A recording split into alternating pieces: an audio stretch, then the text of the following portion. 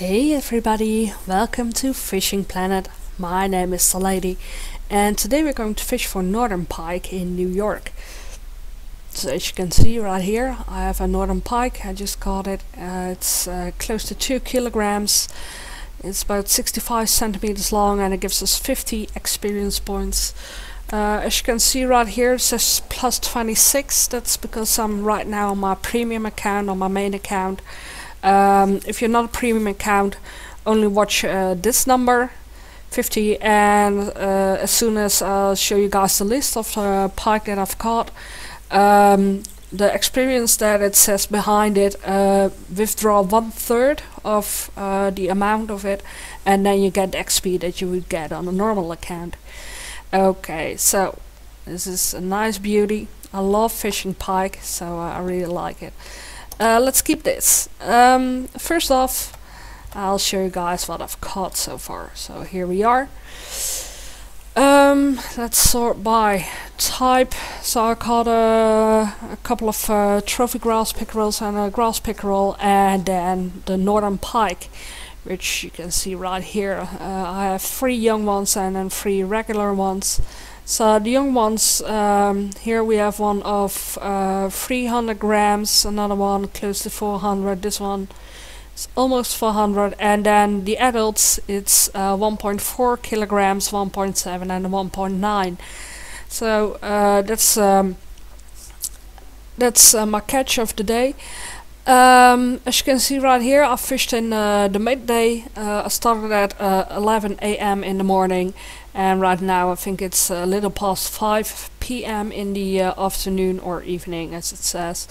Um, the northern pike, they um, uh, you can fish them uh, during peak hours, and um, on sunny days they become active in the afternoon and in the evenings they are in particular very active, uh, especially the, the big ones. And for the rest of the day you can also fish them, but uh, you get more young northern pikes than that you will get adults. Uh, on uh, cloudy days you can fish for them too, and uh, then again it's like all day long um, that you can uh, can fish for them.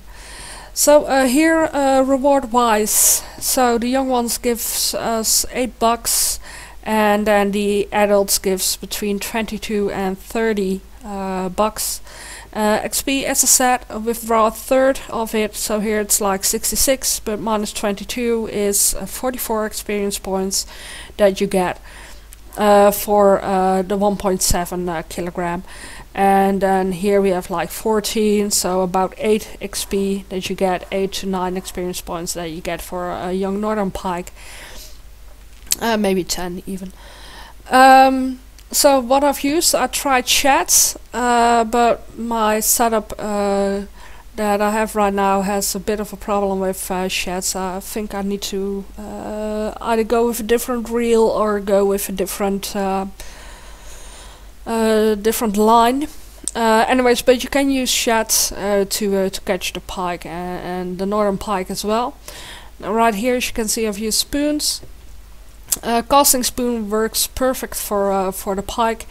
Uh, medium spoon works as well and you can even float fish them. Uh, I'll talk about this one uh, later on. Um, so but on a sunny day uh, casting spoons, uh, the golden ones and the yellow with the red dots works great and then the lemon eye, uh, lemon tiger, a medium spoon works as well. You can also use spinners, uh, that works and as said, well, uh, jig heads with a shad or a grub or a worm works too. Uh, nano spoons by the way work as well.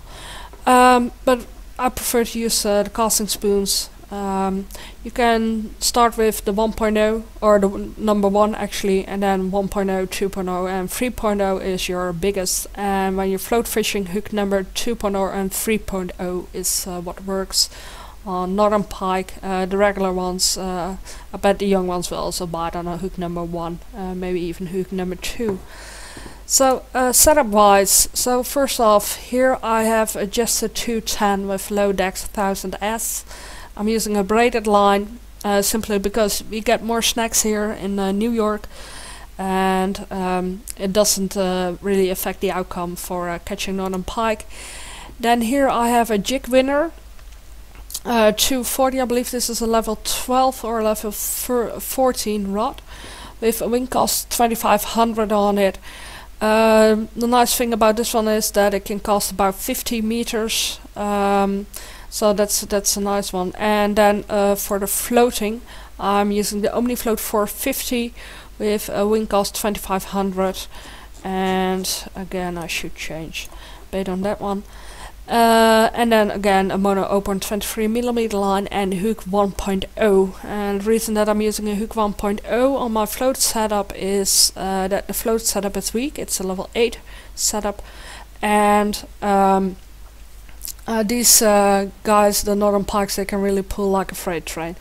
So I don't want to hook the huge monsters. I want to stay. Uh, I really had a struggle already with uh, this one with the 1.7 uh, so uh, that's why I'm using hook 1.0 and not a 2.0 or 3.0. Uh, you can use the 3.0 and as for bait, the level 18 shiners work great and then uh, for gold, uh, small minnows and large minnows work as well. Um, have tried shrimps, they didn't get any bites, small cutbait doesn't work either. Uh, red worms can work, but you get a lot more yellow perch and panfish uh, with those uh, too. So uh, I prefer to use uh, with either the minnows or the shiners. Um, Not sure about crawfish, I haven't tried it. Maybe crawfish cut could work too. Uh, again, that's also cut bait. Um, anyways, I'll, I'll, explain this later. Let's first just use the lure setup. Um, so here we are uh, on the map. I'll show you guys. I'm here at the Dock of Peace. That's where I am. And then here to our right we see this whole line of reeds. And basically uh, all across the line is where you can find northern pike. Uh, but they tend to be a bit from here, which is about 30 meters, and then all the way up to there. And peak hours, it's uh, on sunny days in the evening uh, say from 4 p.m. till about um, 7 to 8 p.m. Uh, here's where you catch the real big ones and this is about 60 meters out so if you can cast that far by all means go ahead. Um, right now I have my casting uh, rod and as you can see I really can't get towards rocks there. So what I'll do is I cast about here.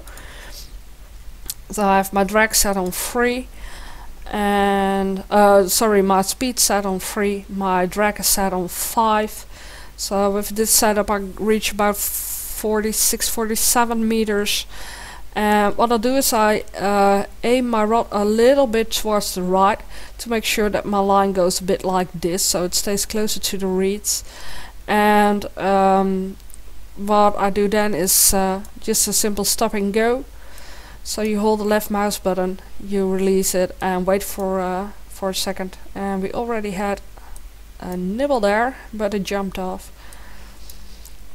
And another one right there.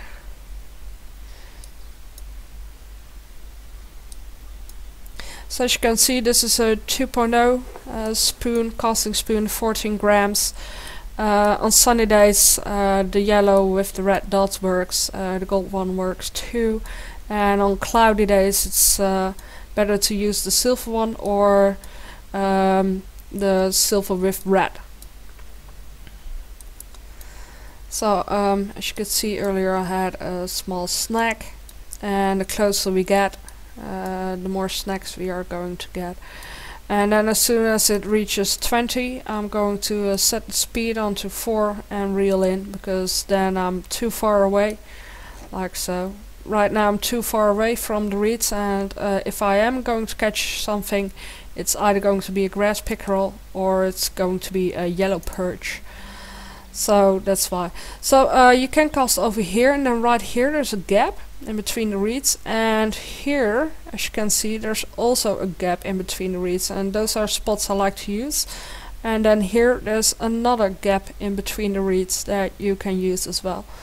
Um, so as you can see I'm standing on the right edge of the dock. Now if I were to use my other setup right here uh, oh I still have the shad on it. Let's uh, change that Um, so I had a casting spoon number 2.0, so let's uh, use the 1.0 for this one.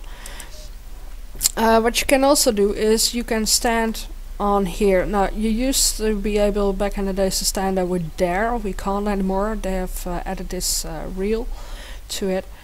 Uh, what we can is uh, we can still stand alongside it and then cast about there.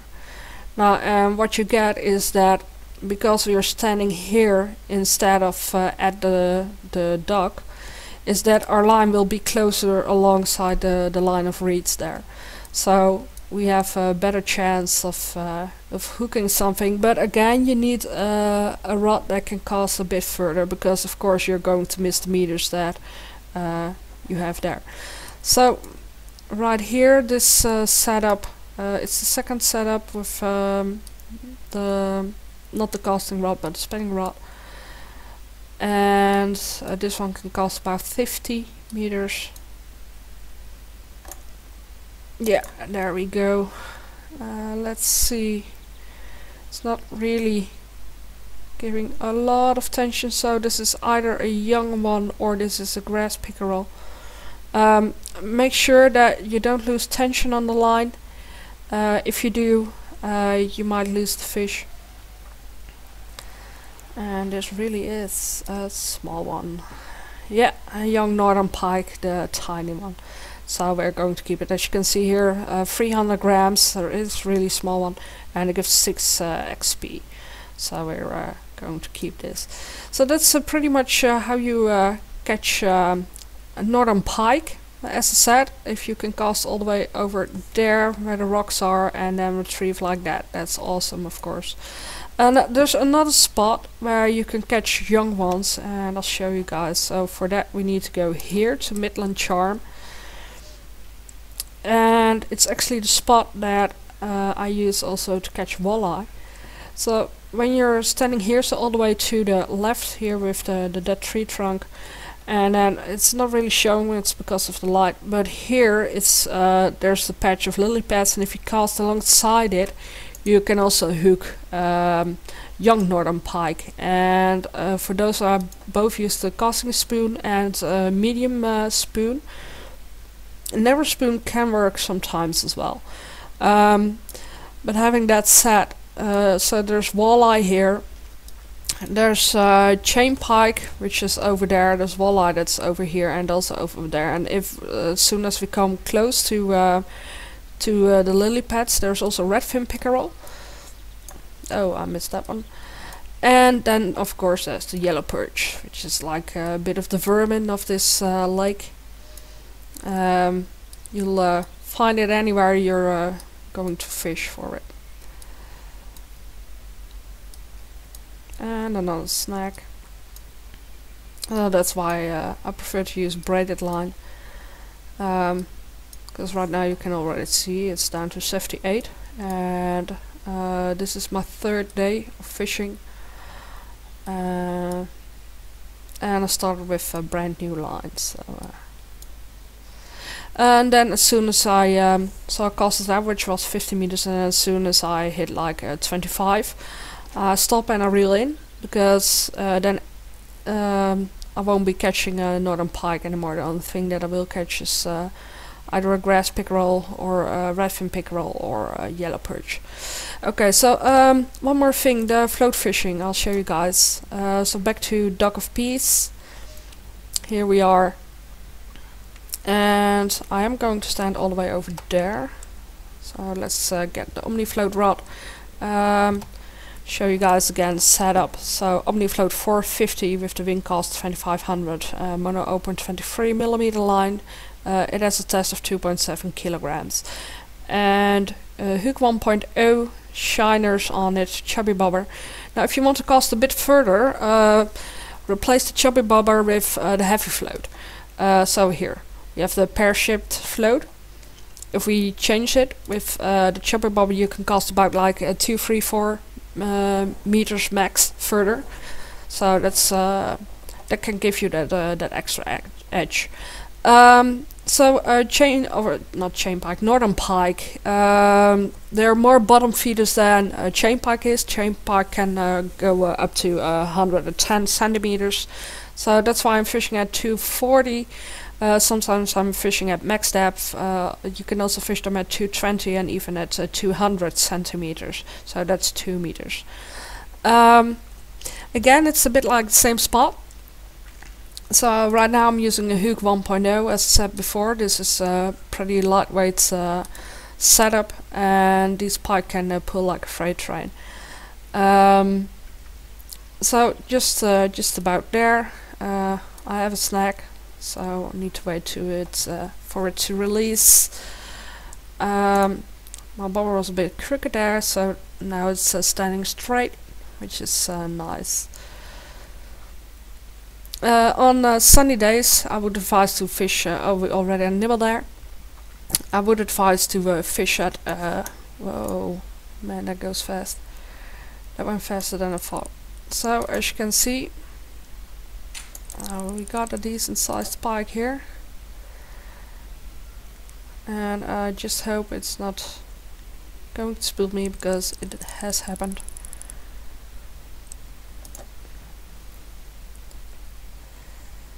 So here we go.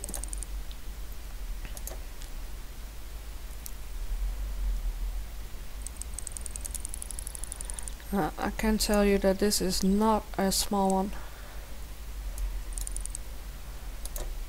The reason that I'm uh, going back and forth with uh, my rod is so uh, when the fish goes to the left what I do is I place my rod to the right so that's just sort of dragging it and here we go.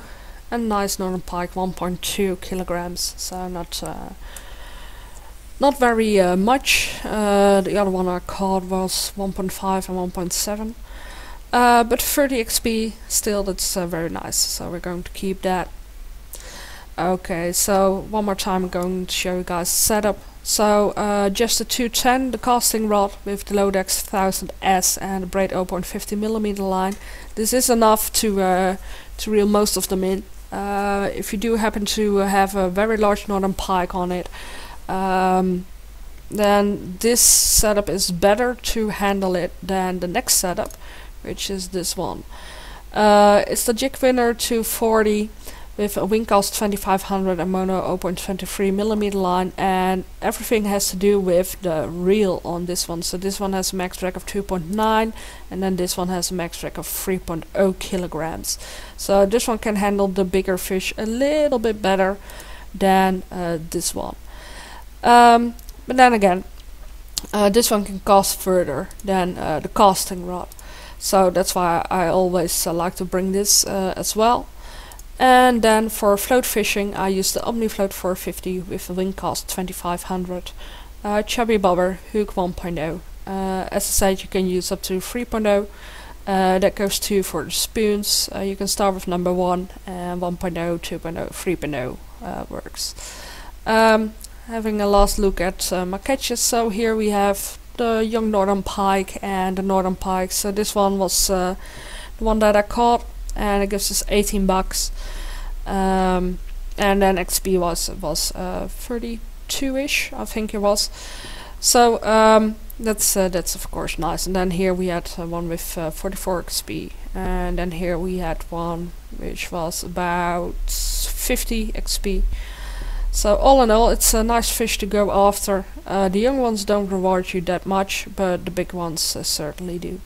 So I'm going to um, wish you guys happy days, tight lines. I hope you enjoyed in New York. Uh, if you like my videos, uh, please uh, please like them. Uh, you can also su subscribe to my channel. If you have a question or a comment, uh, feel free to post them below. Or if you can find me in game, my name is the lady. Um, you can always poke me there.